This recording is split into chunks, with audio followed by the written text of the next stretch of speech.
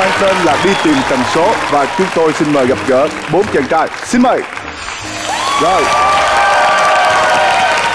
Mời bạn số 1 giới thiệu Xin chào tất cả mọi người, mình là Quang Hảo, 24 tuổi, mình là thầy giáo dạy bơi. Ngoài ra mình còn biểu diễn ảo thuật để kiếm thêm thu nhập. Thầy dạy thiếu nhi thế này dạy người lớn Dạ cả thiếu nhi và người lớn chị. Cỡ 19 dạy được không thầy Dạ dư sức chị. Dư sức Thầy cao mét mấy Dạ mét 75, mét 75. Em chỉ cần là mét 75 Và anh sẽ là người đàn ông.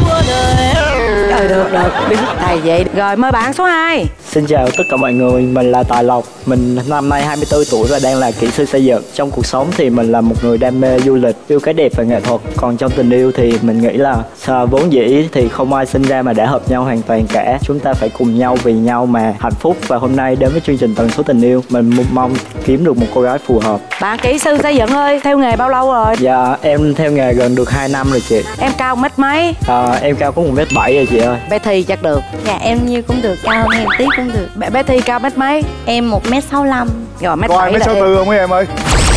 Mấy số tư thôi về đi chứ chi nữa.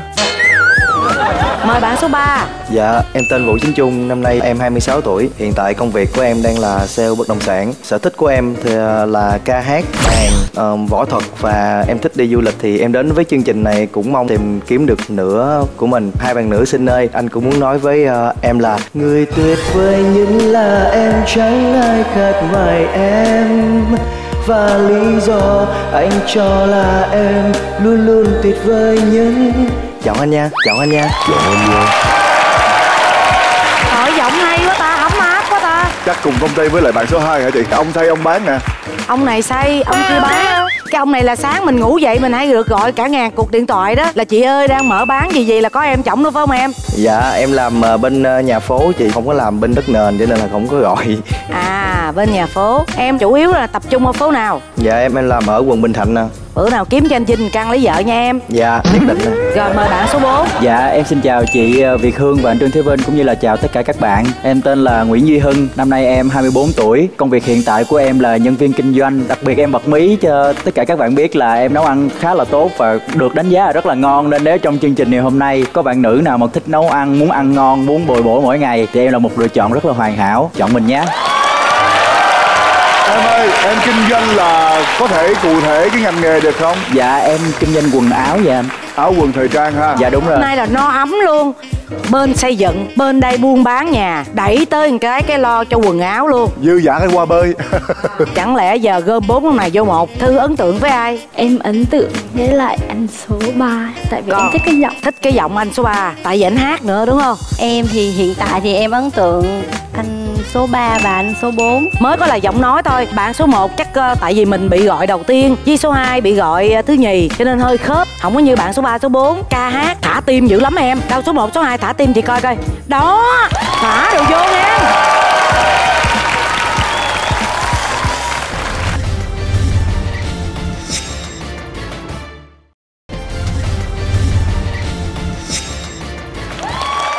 Thôi bây giờ coi bốt cái ờ, ốp điện thoại đi.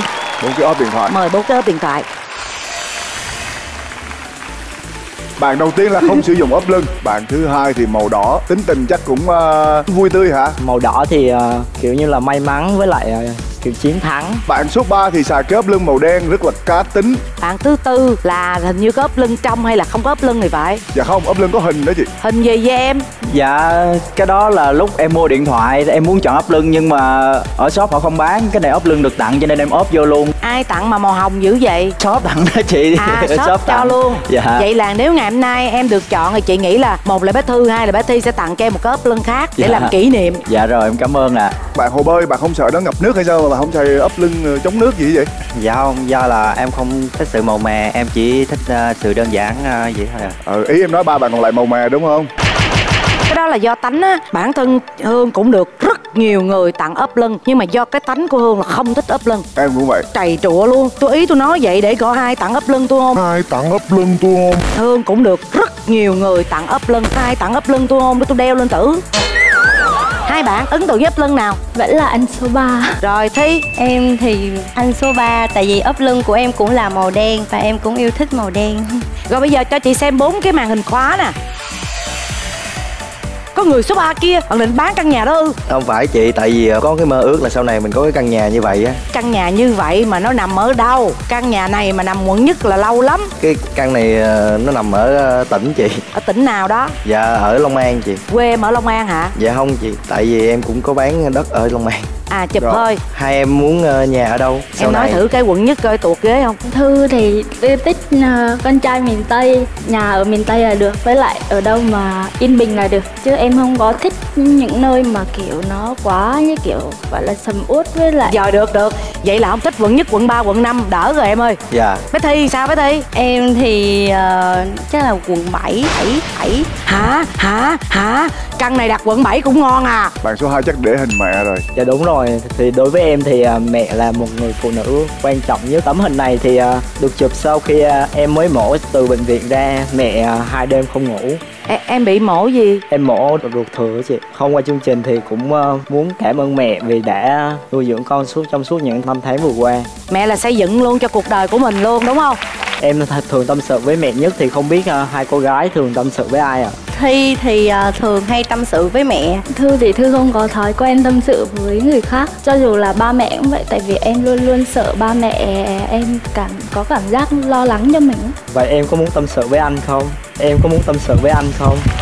Bạn số 2 sẽ tập cho em tâm sự. Bằng cách là bạn ấy sẽ tâm sự với em. Biết đâu em lại muốn chia sẻ lại thì sao đúng không? Cũng có thể. Kinh nghiệm chị luôn. Dạ. Có thể cái câu chuyện đó mình mình không nói được với người bạn đời. Mình không có trách người ta nhưng mà mình không biết nói như thế nào. Cô bé này thú vị lắm đó. Chị lại hỏi hai tụi em nữa. Em có thích đi xe mô tô không? Thư thì Thư thích lái xe mô tô chứ không thích ngồi sau. Mình sẽ ngồi sau cho bạn lái ha. Chạy theo cho nó ngầu. Chân bơi lội mà. Hỏi thi nè. Dạ. em ấn tượng với màn hình khóa nào? Dạ màn hình của bạn số 2 em cảm nhận như thế nào? Dạ thì em nhìn thấy mẹ của bạn số 2 Nhìn gương mặt của cô rất là phúc hậu. Mẹ em cũng vậy. Mẹ mà hiền thì con trai cũng hiền đúng không? Đúng rồi. Còn à, thư? Em thì em không ấn tượng với màn hình nào hết. Không ấn tượng với màn hình nào hết. Như thường em mà để là em sẽ để theo kiểu ngôn tình À, một chút nữa chị sẽ khám phá điện thoại của em nha. Coi coi để ngôn tình sao. Trong bốn cái màn hình thì bé Thi với ờ, bé Thư thích coi cái màn hình nào trước? Chị sẽ mời mở bên trong. Dạ em muốn khám phá điện thoại của bạn số 4 Số 4 à cái anh đen thui này ha Không có đen thui, người ta chụp bầu trời. Ôi trời. Bầu trời lúc 4 giờ sáng. Chỉ có hai màn hình thôi. Hai màn hình. Dạ. Không có thấy chơi giờ game gì hết. Không biết là trong hai bạn nữ gu âm nhạc của các bạn như thế nào. Thư thì không có yêu thích thể loại nhạc nào hết ấy. Mình cứ thấy bài nào hay là Mình mình, nghe nghe, thôi. thôi. Vậy kêu bạn đó mở cái album nhạc coi có đồng điệu không? Dạ. Cô Khánh Ly hả? Dạ không nhạc không lời ạ. Cái list ờ, yêu thích của bạn đâu? Dạ toàn đây. nhạc không lời thôi. Anh chàng này làm như mê ờ, nhạc trịnh ha. Dạ em thì ờ, em thường nghe nhạc trịnh và có thể nói là nhạc trịnh thì nuôi lớn con người em luôn rồi Wow. Dạ. Em nghe em cảm thấy như thế nào? Dạ cái lời trong nhạc trịnh nó sâu sắc tới mức mà khi mình nghe mình có thể hình dung một cái gì đó. Anh thì anh nghĩ là cái nhạc của bác hay ở cái chỗ là ở mỗi cái độ tuổi chúng ta sẽ hiểu một cái khác nhau. Bạn này khá là sâu sắc. À, Dạ. Em thấy bạn số 4 là hợp gu của em. À, đúng rồi. Dạ tại vì em người miền Tây thì em thích cái nhạc dân ca bolero. Với lại nhạc của bác Trịnh thì em thích bài Diễm Xưa với Còn Tuổi Nào Cho Em. Khá là đúng gu luôn. Hai bài mà mình thường xuyên hát nhất. Mình cứ rảnh rỗi ra thì mình rêu rao giai điệu của những bài đó. Cảm ơn bạn vì đã cùng gu với mình. Ở dưới là cũng là nhạc trịnh nha. Như Dạ. cánh vạt bay hạ trắng luôn dạ toàn một album này là tất cả đều là nhạc trịnh. À à. Em có nghe cái nhạc nào khác ngoài nhạc trịnh không em? Thỉnh thoảng để thay đổi cảm xúc của mình cho nó tích cực hơn. Ví dụ mình tìm một niềm cảm hứng nào mới trong cuộc sống thì em sẽ nghe nhạc ờ, âu mỹ. Những bài thể loại nó sôi động hơn một tí để cho cảm giác con người mình nó tươi tắn hơn chứ nó không có bị một màu nó cứ buồn buồn hoặc là ủ rũ hoài đó anh. Vậy hả? Hai bạn nữ mình có thích đi du lịch ở đâu không nha? Chắc chưa chưa tìm được cái điểm mà mình ấn tượng. Nhưng mà kiểu em vẫn thích biển. Bạn thích đi du lịch đó thì không biết là bạn có thích đi Đà Lạt không nhờ? Đà lạt là tủ luôn nha. Mình là hướng dẫn viên du lịch đà lạt luôn nha. Bây giờ em thử hướng dẫn cho anh nè. Anh chưa biết Đà Lạt có chỗ nào thú vị. Anh thì không thích thành phố trung tâm. Anh muốn có một cái nơi nào đó nó thật là buồn.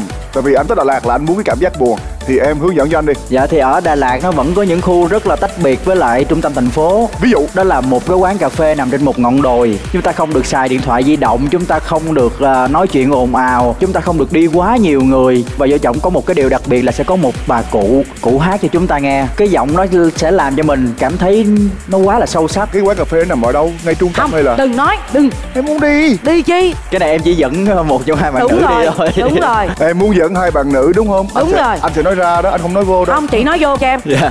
Số 4 ơi nhà bạn có bao nhiêu anh em? Dạ em là con một. Con trai một và gia đình có áp lực dâu phải sao không em? À, dạ không có vấn đề về chuyện người ờ, con gái của em thì ờ, ba mẹ để ngay cả công việc của em thì bây giờ ba mẹ em cũng để cho em tự quyết định em tự lựa chọn con đường của mình. Miễn là em ý thức được nó là tốt. Ngon lành. Mời bạn số 2 cho chị xem màn hình nè. Màu xanh đẹp quá. Ghi chú em có ghi gì không? Gym nè bạn này quan tâm đến sức khỏe nè. Ủa em giỏi toán lắm hả? Không cái này là à, có em gái em thi à, học đại học nên là em à, mua sách. À là bạn này có em gái trên cùng là cái gì vậy? Gần đây thì em có làm thêm vào buổi tối à, làm cho trợ lý cho một à, bác sĩ người Hàn Quốc. Đây là list lại những cái tại vì mình chưa có học rõ về tiếng Anh nên là mình list lại để mình biết. Chà em có vẻ là ham học hỏi rồi ham làm việc ha. Hình ảnh đi. Lý do có hình gái quá trời dưới. Dạ cái này là lần gần nhất mà em ở ở quê thì là tổ chức sinh nhật á. Đây là anh em họ hàng trong nhà à. À đó là anh em họ hàng trong nhà. Gia đình em mấy người nhỉ? Dạ có một chị gái thôi. Cái cô áo đen là là ai? Không biết là mấy bạn nữ có thường tổ chức sinh nhật cho người thân không? Anh ờ, quan tâm tới em họ của em chút mà em không trả lời anh buồn quá.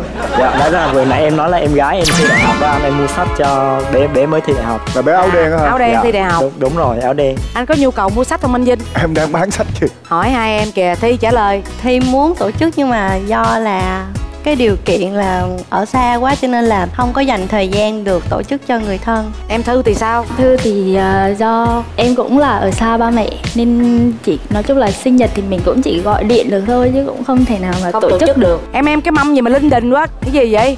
Bánh hỏi thịt heo quay. Dạ bánh tráng cuốn thịt heo. Lướt qua cái nữa nè y cái gì nữa vậy? Giờ này mà đưa mấy cái này ra thiệt. Thoát luôn đi em. Cái ghẹo em á em cứ việc đưa hình ảnh ra nha. Đây là mẹ em à, dễ thương quá à. Mẹ khó tính không em? Nói chung mẹ mẹ rất là thương em. Kiểu như em là idol của mẹ vậy đó nếu như mà người mẹ thương con quá thì có khả năng là có nhiều người là họ ganh tị với con dâu đó nha em thấy hợp thì chắc là mẹ sẽ hợp. Có bao giờ em hỏi mẹ là mẹ muốn một cô con dâu như thế nào không? Khoảng gần 2 năm nay thì em không có quen ai hết. Thì mẹ cũng có hỏi là tại sao lại không quen ai. Em kêu là để em à, lo sự nghiệp cái đã sẽ kiếm được à, một con dâu phù hợp bây giờ em nói với mẹ thôi để em tham gia chương trình này. Xong rồi kiếm một cô đem về ha. Dạ. Rồi mời màn hình bạn số 1 đi. Cũng là chiếc xe trên đó có cái app vé xe rẻ. Bộ em hay đi đâu lắm hả Dạ do là công việc đi diễn nên em hay đi tỉnh nên em em tải cái này về do dễ bút xe này nọ. Cho mình hỏi là ở Việt Nam thì hai bạn nữ thích đi đâu nhất à? thi thì thi thích ờ, đi đà lạt thi thích đi đà lạt thư thích đi đà nẵng Không em thích biển. em thích biển biển đà nẵng là biển biển nào à? biển nào đẹp là em thích thôi à. ở biển đẹp là thích bạn có hay đi diễn ở những cái vùng có biển không Dạ có à. ừ nào đi rồi dẫn dẫn người yêu đi chung được không Dạ cái đó là chắc chắn rồi. Rồi bạn có hay đi du lịch à, bằng xe máy không? Em cũng ít nhưng mà em cũng thích cảm giác đi du lịch bằng xe máy. Quãng đường mà anh Đấy. đi dài nhất thì là bao nhiêu? Quãng đường đi dài nhất là chỉ có 300 cây à. cho xem màn hình của bạn số 3 đi à đi làm đó ha Dạ, cái gì đây em chụp cái này là chụp sao là chụp con cho đường khách hàng con đường cho khách coi dạ, chụp ờ, ví dụ như báo là đường 3 m 6 m trên 12 dạ m đúng rồi, hẻm xe hơi á chị. em xe hơi dạ. ví dụ anh đang cần một cái nhà ví dụ ờ, nhà hẻm xe hơi đi em em sẽ nói gì với cái công việc của em? Chiều ngang nhiêu dài nhiêu em? Dạ, ờ, ngang ờ, 3m2, dài 10m, nã hậu ờ, 3m8 vậy giá hả? sao em? À, Vì nó là mặt tiền thục cho nên ờ, giá rất là rẻ chị. Mà thương lượng chính chủ hay là phải Dạ, qua thương lượng chính chủ à. Dạ, giấy tờ sao em? Sổ hồng riêng, ờ, công chứng sang tên liền. Bạn này nói chuyện vẫn rất là chân thành như là bạn nói chuyện bình thường ha. Nhưng mà bán nếu mà em buôn bán mà nói chuyện chân thành vậy á nhiều khi nó là cái nét hay. Người ta sẽ tin rất là tin. Cứ giữ mộc mạc như vậy nha em. Dạ, dạ, cho anh được hỏi ờ, cái quan điểm tình yêu của hai em là như thế nào? Và cái mẫu người đàn ông lý tưởng ờ, của mình là như thế nào? Yêu thì hiểu nhau biết quan tâm biết chia sẻ và biết lắng nghe là đã yêu thôi. Dạ được rồi. Còn bản thư Em thì chiều cao á, là từ tầm mét 75 đến mét 8 Còn về tính cách thì em cũng muốn một người mà gọi là biết quan tâm chia sẻ với em. Em đặc biệt chú ý vô vấn đề là hai bên phải tôn trọng nhau. Anh mang giày ờ, độn lên ờ, năm bảy cm nữa để một m bảy thì em có chịu không? Em nói nói vậy thôi chứ còn trước giờ em cũng chưa được tìm được ai tầm đó hết á. Ví dụ như có cái người mà đạt được cái tính tình mà em thích mà người ta có một mít sáu thôi thì em có chịu không trong khi cái anh mít bảy lăm đó thì ảnh lại không giống vậy. Em ưu tiên cái nào? Chắc là mét sáu lăm. Em chọn cái tính đúng không? Dạ. Ừ quan trọng là tính thôi bạn ơi. Dạ nãy giờ trong đêm cũng chảy mồ hôi nhiều lắm. Nãy giờ tâm sự rồi coi màn hình rồi ấn tượng với ai. Suy nghĩ nha. Trong lúc hai đứa em tôi suy nghĩ mời giải lao trong vòng ít phút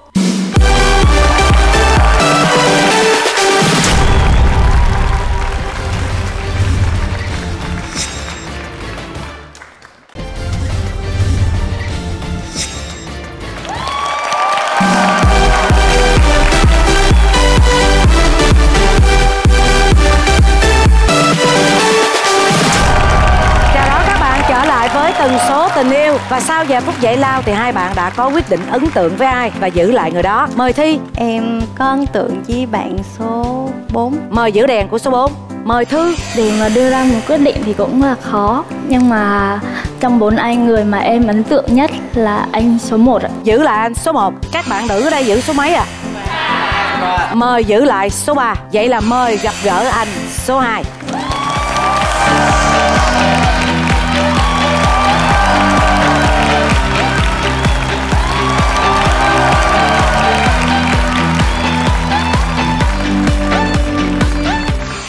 tay đầy tiếc nuối lần một.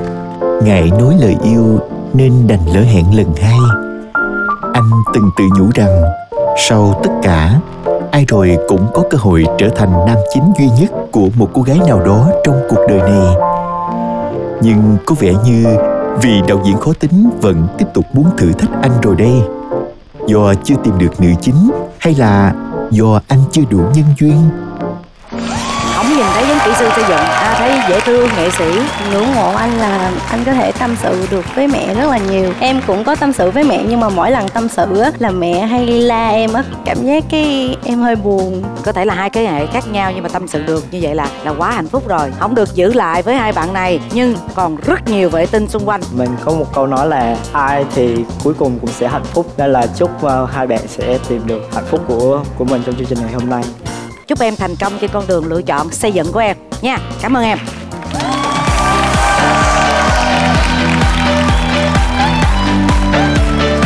Bây giờ sẽ là phần thử thách của cha.